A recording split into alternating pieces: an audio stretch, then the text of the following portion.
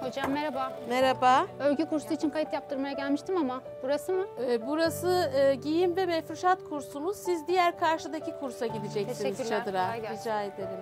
Merhaba ben e, Kahramanmaraş Suzan ve Abdülhakim Bilgili Halk Eğitim Merkezi'nde usta öğretici olarak çalışmaktayım. İsmim Filiz Teki. Burası giyim ve mefruşat kursu olarak düzenlendi. Burası Kırgızistan'dan gelen Kırgız kardeşlerimizin bize e, hediyeleri olan Kırgız çadırları. Elzem gerek olan eşofmandı, bluzdu, yelekti, işte çanta dikti, diktiler kendilerine, çocuklarına pijamalar diktiler. E, yastık yüzleri, çarşaflar, nevresimler diktiler.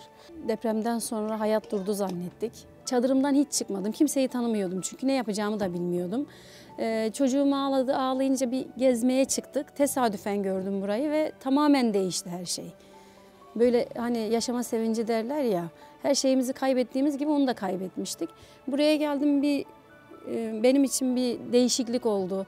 Ee, Ürettikçe seviniyoruz, mutlu oluyoruz. Başkalarına yardımcı oldukça mesela askerlerimiz geliyor buraya hocalarımızın da desteğiyle onların e, eksiklerini dikiyoruz. E, mesela çalışanlar geliyor, tadilat işleri oluyor. Diyorum ya hep yardımseverliği de daha önce yapmıyormuşuz. Yapıyorduk ama yapmıyormuşuz. Onları da öğrendik. Burada e, hoşgörüyü öğrendik.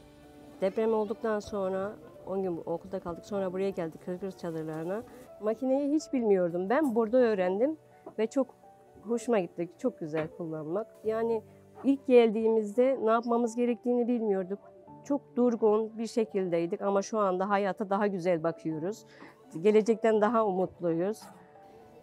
Yıllar sonra bu videoyu izlediğimde izler miyim bilmiyorum tüm umutlarım kırılmıştı benim depremden sonra. Hayat durdu zannettik.